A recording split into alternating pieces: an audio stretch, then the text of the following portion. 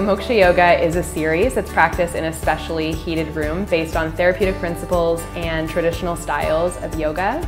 And our mission statement here at Moksha Yoga Kingston is to ignite individual potential in community to create peace and vibrant health for people and for the earth. Business has been really great. My partner and I launched in November of 2014 and business has been going really well.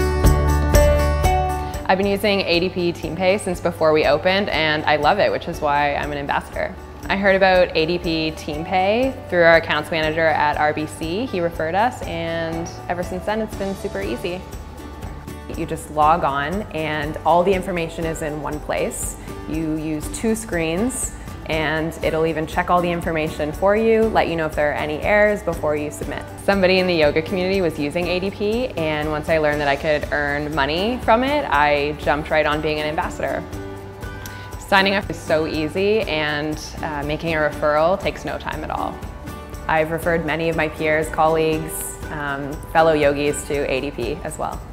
So I earn $100 for each of my first three referrals and then $2,500 for the fourth. $2,500 is so much for a new business especially. It's basically payroll for the entire year.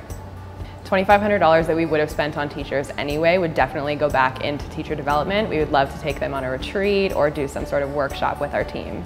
Well, when we opened the studio, we really opened it because we wanted to teach yoga. So the fact that TeamPay gives us peace of mind and has an amazing team with a lot of support really makes it easy.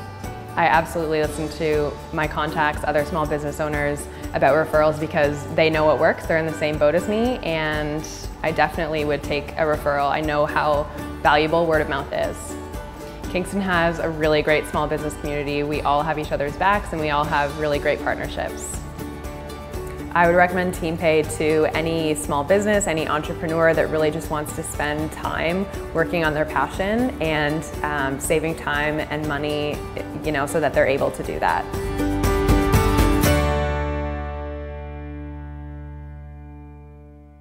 Namaste.